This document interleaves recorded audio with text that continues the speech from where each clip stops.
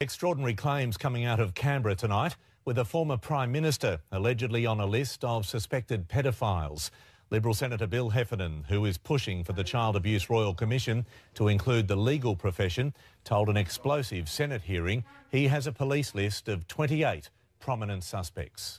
There's a former Prime Minister on this list, and it is a police document.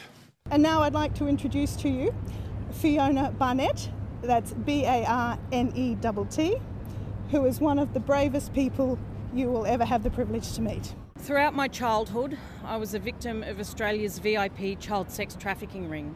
For example, I was prostituted to pedophile parties at Parliament House, Canberra, and to an international leader at Fairbairn Military Airport. The people involved in this elite pedophile ring included high ranking politicians, police, and judiciary. From the late 1980s, I reported my abuse experiences to multiple healthcare professionals, not one of whom adhered to mandatory reporting requirements. I reported to New South Wales Police in 2008. I reported to the Royal Commission in 2012. I reported to Operation Attest in Canberra.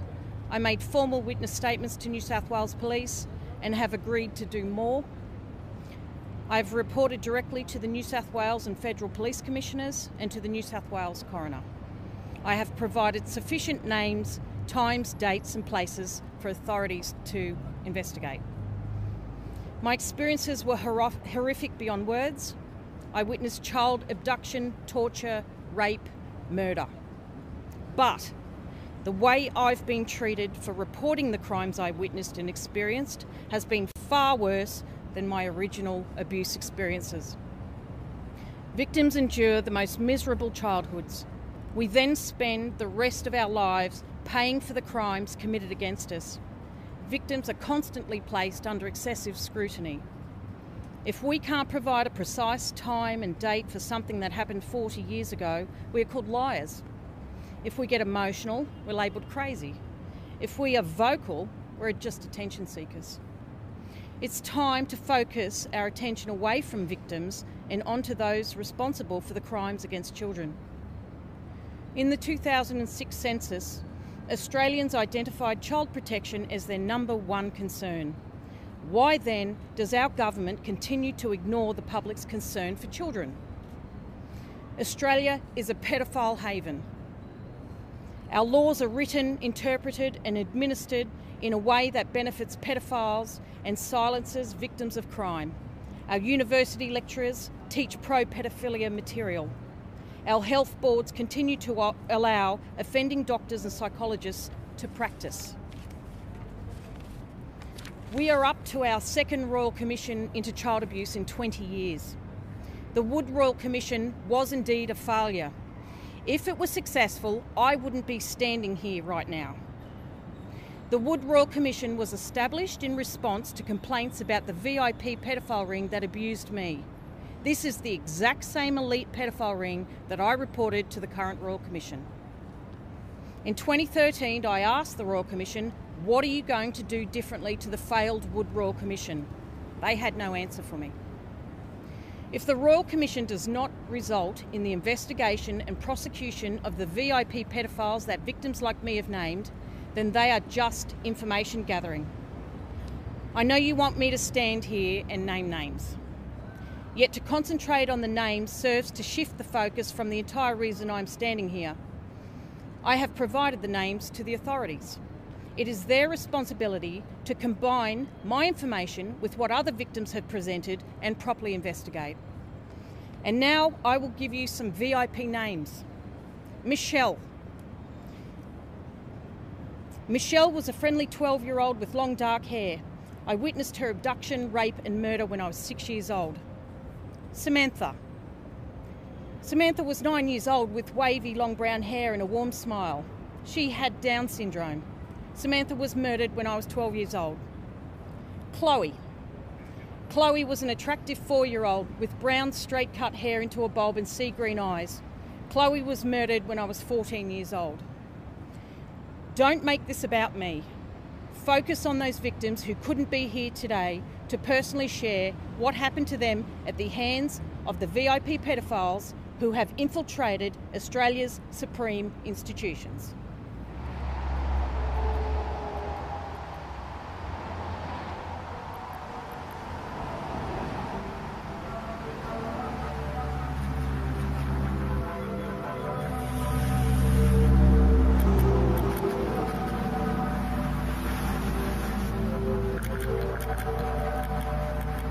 She always to have beautiful gardens. Mm, flower gardens, full of flower gardens.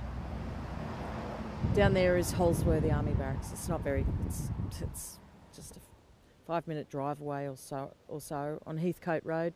So everything's very, very close. We're very close to Waterfall. Waterfall's just two train stations away. It goes Engadine, Heathcote, Waterfall, and all that down there, those mountains are there, uh, acres and acres and acres of bushland where they, they've committed multiple murders. I've seen people murdered in the bush. I've seen a guy tied to four different vehicles and bikies were involved as well and they all drove off in different directions and his body exploded. I was age six when I saw that. I've seen multiple human sacrifices, sacrifice of children, hobos, people they abducted, children they abducted, children bred in captivity. And this is where it all started. These are the people that handed me over. Uh, Helen was Lithuanian and Peter was Polish. Fiona had been staying with Helen and Peter, and she was three years of age, and must have picked her up on the Sunday night, and she came home and uh, she went into her bedroom and that, and I could just see her standing at the door, and she said, "Right," she said, um, "You're not allowed in my room anymore." She was fun. Fun. Yeah. She was rebellious. She stood up to teachers. Um, it was always, ent- she was always entertaining. It was always good to just be standing a couple of metres away from her when that was happening. You would never go and stand next to her because you wouldn't want to get in trouble yourself. I was an unwilling member of a coven, uh, which was part of a greater um, crime syndicate, um, which you know involved drugs, uh, guns, and uh, sex trafficking, including child sex trafficking, human trafficking. So you were an unwitting part of that coven. Yes, absolutely. And I, was then you si- I signed up from before my birth. Well, you didn't sign up if it was before. I did birth. not sign up, so it was like being born into the mafia, but never actually volunteering to be a member. And then, but the same rules apply for leaving. You can check out any time you like, but you can never leave, like Hotel California song. So who signed you up? Um, my grandparent, Helen Holovchik. Helena Miloweska or Helena Holozak Holovchik, whatever you want to say. Yeah. So it was her initiation, do you think? Yes. And what about her her her partner, Peter? What was his My step grandfather. Um, oh, yeah, he was involved heavily. He was, yeah. He, he did the dirty work. What was his role in your life? Uh, he was to abuse me. Um, for people involved in ritual abuse and mind control, you must also sexually abuse them um, so that if they do remember anything, they'll remember the sexual abuse and the pedophilia and they'll go, oh, you know, everyone will say, oh, well, that's what was wrong. And they don't go any further, any deeper than that. Oh, so the pedophilia is is It's a cover. as safe It's a cover, it's a red herring for the for, mind for the real bad stuff. Not just mind control, um, the, the ritual abuse, the Satanism, satanic ritual abuse. She had this white hair, not blonde, but white hair, standing there amongst all the other girls, and she stood out. I mean, all of the girls in the photo I think were quite attractive, but Fiona stood out because of this white hair, and um, she looked angelic. Yeah, back back in those days, beautiful looking girl. This is a house of horrors. I was abused in this house from uh, when I first stayed over here. Uh, I was left here alone with my what I thought were my grandparents from the age of oh gosh, almost two, I think. I, I'm not sure when I found out. Probably a decade ago, perhaps a bit longer. Yeah. Was that a surprise? No, not a surprise. Tell me why it wasn't a surprise. Um, because I have been around quite a few people who've had abuse in their past. It seemed to happen quite a lot. My biggest problem with Helen was when I was pregnant with Fiona, my first child, Helen determined that she was having the child and I was going back to work. And I, this was a foreign idea to me, you know, like I'd never heard of this. What does she mean have? Have she was going to have, I could visit Fiona on weekends. to raise her. She was going to have her all week and I was allowed to see her weekends. Okay. Helen, I'm having this baby because I want to have this baby, you know. No way, you know. And she was determined that it was that she wanted this baby. See, that's the original gate, security gate, and there used to be a dog out there all the time. That's where the dog named Satan lived. There used to be a sign at the front of the house with um, with the name Lublin written on it. And that's named after the town in which the death camp was that Peter Peter worked at. At times I'd go over when Fiona was young, if they, she stayed over there, I'd go to pick her up. He used to uh, play the pillow like a guitar, you know, and get Fiona to dance. And he used to say repeatedly, repeatedly all the time, that now it would be something I'd respond to, but he would say, Ah, Fiona and Poppy have got a secret, hey.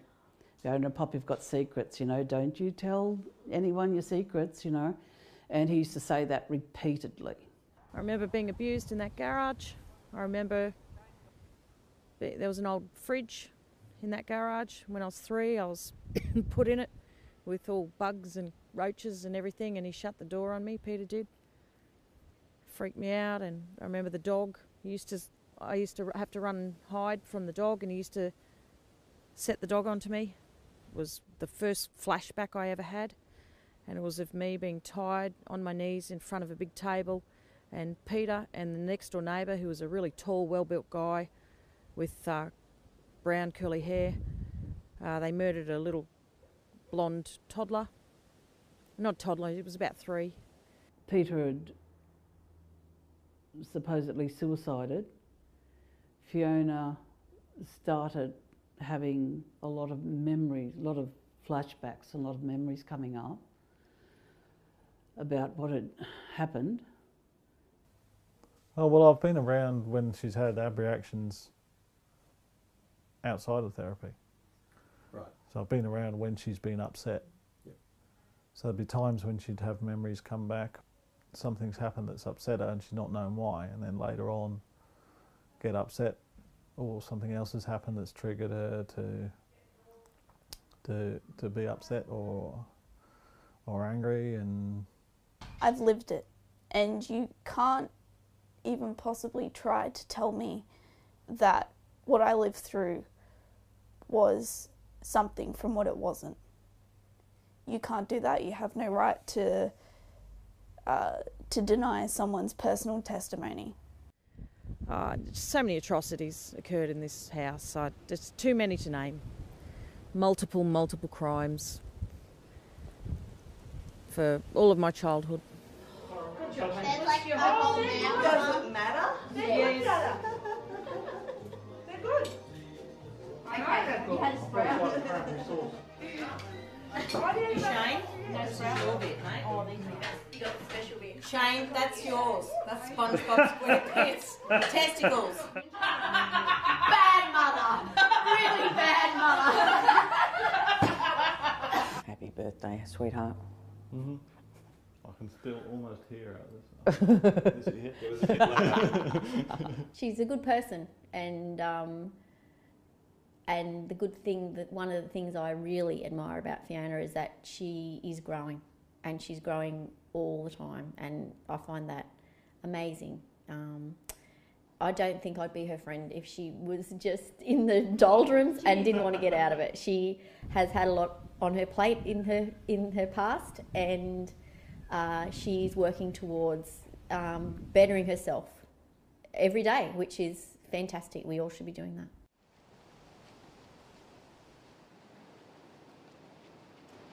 This is all spray painted fresh paint. This is your walkway. And this is fresh. This is since we were here a year ago. Cash, come and check that there's markings as we'd expect here. I think there is.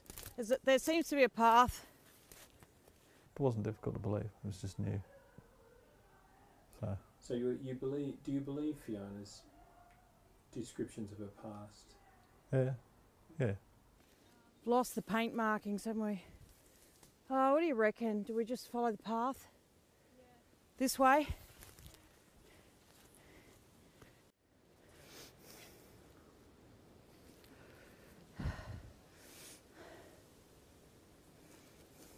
This place, there's there's graves everywhere here.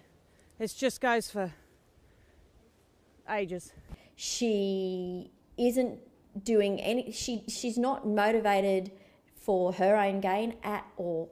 She is always motivated for the greater good, uh, for social justice, for helping people that um, might need help. She ends up in the mess of someone else's life so often. You know, uh, the things that really matter about someone else's life.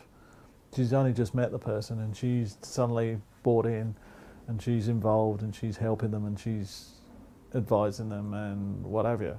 Without Fiona, none of this would have come to fruition. Fiona, I, I could never thank her enough for what she's done for me and for my son. For my son, especially, you know, I'm an adult and you can pick and choose your your friends when you're older, but when you're a child, you trust everybody, and that's hard as a parent to put somebody in front of them with such a big thing that's happened to them and expect them to trust again. Well, with the Gary Willis, it was, you know, she she couldn't sleep. You know, she she knew it was going to be trouble going into that, but she couldn't sleep, and you know, she she felt she was she was being asked to do something about it. The, um, this particular teacher and a second teacher used to get these 13 year old boys who are quite big. She had Down syndrome, this girl, and used to get the girls on the floor and get the boys to stick sticks up their vaginas while they masturbated. And that's partly why I admire my mother so much, is because she chose not to deny it. She's intense, she's honest, selfless. I just noticed um, living with intensity. That, that's, that's what it is. It's living with intensity in the flesh. In a way, her, her therapy and you know the healing she gained from that, um, it it definitely eased a burden that never should have been there in the first place. Now there's a difference between the intensity her personality caused, and that's just her personality. You know that's never going to change. I was eight when I was brought here. We were brought here in the daytime. Um, I don't like being here at all. I'm very stressed at the moment. Brought here by my Lithuanian grandmother, Helen or Helena Miloweska or Holovchek. And we waited for nightfall. We got off at Waterfall train station, I believe. We were met here. Uh, Dr. Mark, Leonis Petruscus, was here, the red headed mistress or partner or whatever of the Engadine policeman. Uh, my uncle David Holozak, my, bro- my father's younger half brother. And there were at least two other people here. There could have been six to eight people looking down on me. I was right out of my depths. Right out of my depths. Absolutely. This is probably the worst memory from my childhood. Um, I looked in the grave and there was a partially decomposed, there was a body of a partially decomposed, light haired person. It was quite, it was at least shoulder length, blondish, pale coloured hair. It was half decomposed, there was maggots. So it was fresh. It's a body that the my perpetrators had put in here and prepared, you know, here's one prepared earlier. It was all ready to go.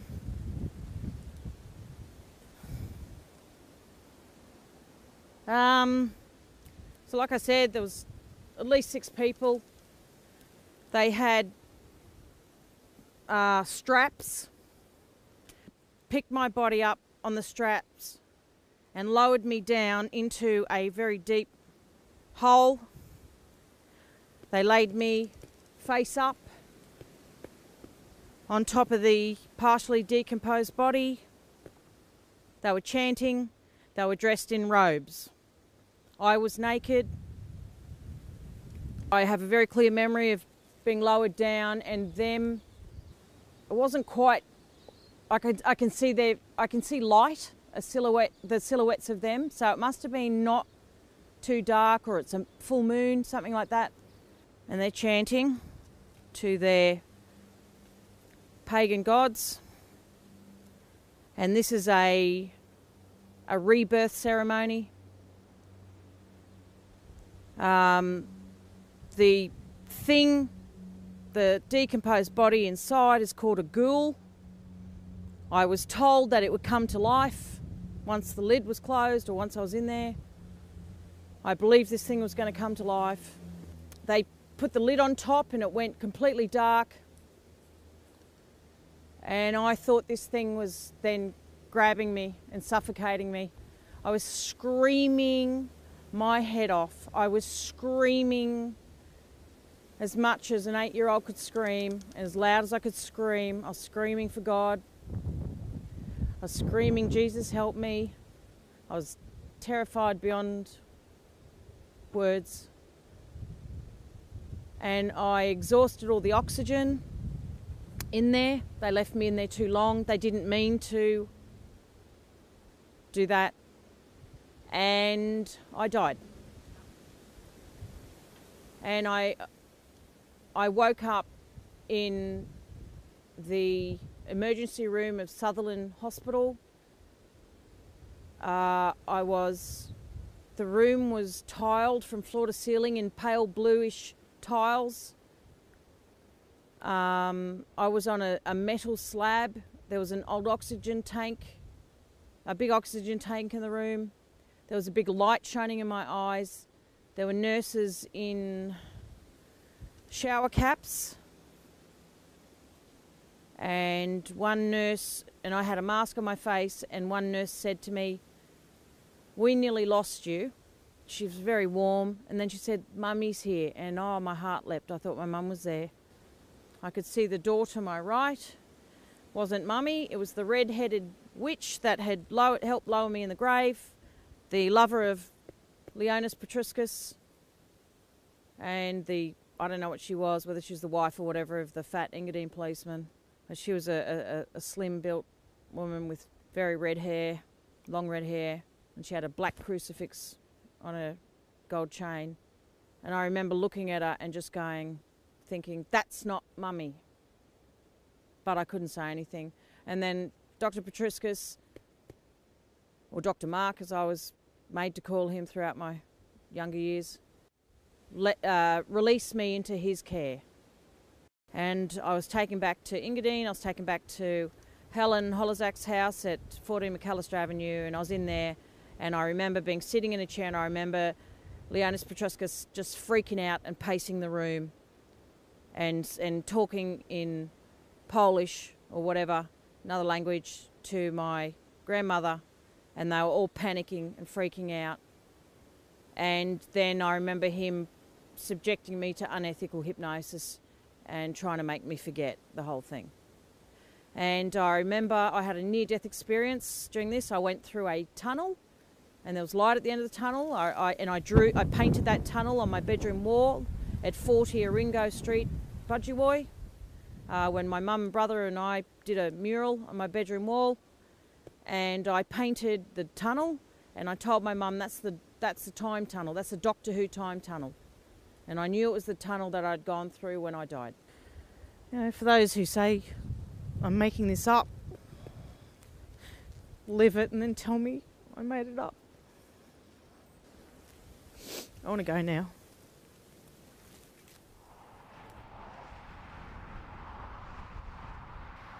The ultimate thing was my children, nourishing them, develop, helping them develop, and all that.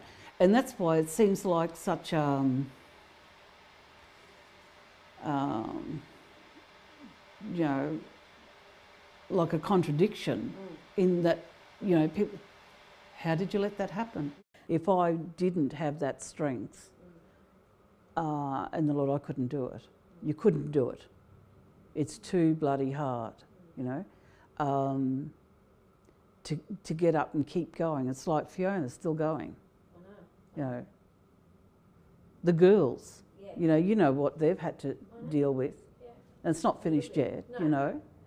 But what they've had to deal with, you know, you've got to get up and keep going. You've got to get up and keep going, you know. How can a human being go through what I went through and survive it? And get, you know, Steve kept saying, "I can't believe that you, you can do this. I can't believe you can do this." And I'm like, "Well, neither can I." I would walk on my first when I was young. Peter would walk me. I'd walk on my own to later on to Doctor's Mark's house, but there was another house as well, and I would walk. I have vivid memories of being walked up this road by Peter um, and getting to the end of this road and turning left. And uh, down the end of that road is Engadine Boys Town. It's, it's just, you just turn left up there and Engadine Boys Town. You turn right up there and go around the corner and you've got Dr. Mark's or Leonis Petriscus' um, medical centre. This is where Leonis Petriscus worked, Dr. Mark, um, Melov. Every person employed at this medical practice in the 70s and 80s were involved in the ritual abuse of myself and other children, and crimes and murders, and covering up murders and writing false medical reports to cover for the crimes that they committed. For the Sutherland Shire, and especially around Engadine Waterfall area. a number one rule within within that environment, that world is never. Ne- number one rule is never. Well, number one rule is there's there is no fight club. There is no fight club. There is no fight club. You know, we don't exist. That's number one rule. Second rule is never, never put um, your own personal interests, desires, passions, fetishes, you know, whatever, before the common good. Never. And Bailey violated good me- being the the, the good of the coven, well, the good of the order. It's not the coven. Covens are little groups. The good of the order. I used to walk here myself, um, where I had the privilege of being sexually abused by Leonis Petriscus, otherwise known as Dr. Mark. Um, I don't remember this house, this wasn't here. But this is the general location that I was made to walk, uh, walk down. I've handed in police statements about what happened in this area. Uh, I was made to, I was sexually abused by Leonis Petriscus and he and the red-headed woman who uh, was associated with the Engadine policeman. And, uh, and I've made detailed statements about being abused here when I was about 15, 14, 15. The sexual abuse at the hands of Peter Holozak stopped at about age 12. Well, it did stop at age 12. I remember the day I had the argument with him.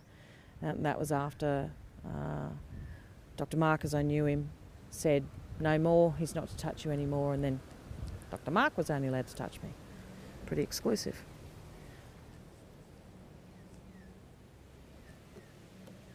I was rather, I, thought he was so young. I thought he was about 32, 34. I can still remember, and he was a very slight man.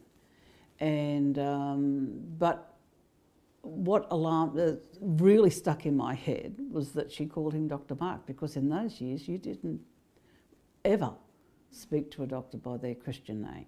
Not only as her friend do I believe her, but um, and I- am a person that needs strong evidence for things, but there's a lot of circumstantial evidence.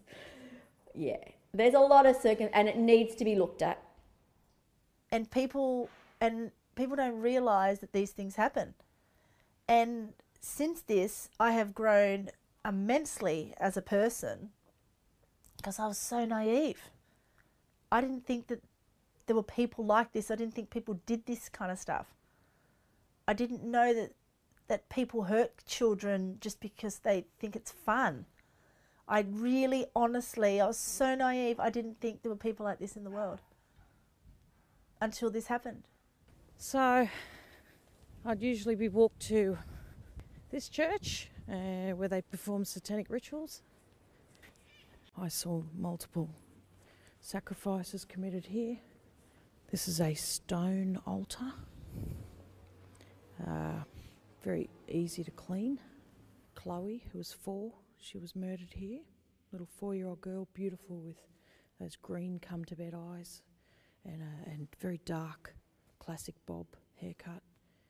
Um, she was the daughter of the red-headed woman who was at Garrawarra Cemetery. She was the partner of the uh, the, the fat Engadine policeman. He, I remember him sitting in here and everything. He used to walk. He was really overweight, and he used to walk like that with his hands turned to the back. So I saw Chloe killed right here, and then after her death, um, her mother, the red-headed mother, went insane, and she was bumped off as well because she became a liability. Father Evans, uh, he was convicted for pedophilia, and he was connected to this place. So it was nothing for me to walk, you know, to Engadine Boys Town, Australia's first boys' town. The original Engadine Boys Town. My father was abused here. a reject from the coven. Was he really? yeah, yeah, yeah, no, he, no, Frank wasn't like that at all. No, he wanted that stable family situation because he'd never had it.